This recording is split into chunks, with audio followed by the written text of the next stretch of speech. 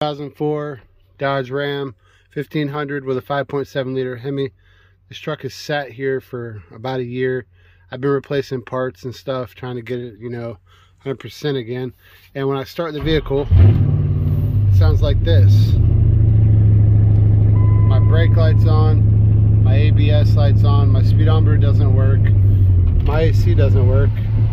Okay, for some reason it is working right. Oh no, compressor won't kick on, just the fan.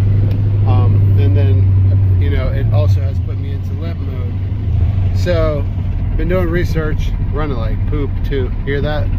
Look at the RPMs fluctuating. Doing some research. And I read online that the number 30 fuse, which is marked as a spare, is not truly a spare. It runs the ABS control module. Pulled it out, it's fine. Not the case in my truck. But fuse number 35, if you look right here, ABS control module run is number 35. I pulled 35 and I found this a blown fuse.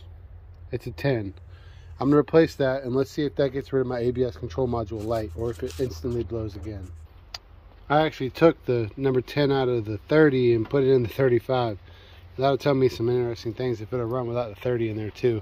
Let's go ahead and start up and see what it sounds like now. See if those lights are still on or if it blows the fuse. Okay, ignition on. Okay, still not running right, but my ABS light has turned off. Now, okay, so the truck's still running rough and it's still in limp mode. So we got another problem, but at least I can help maybe with the ABS that's a start.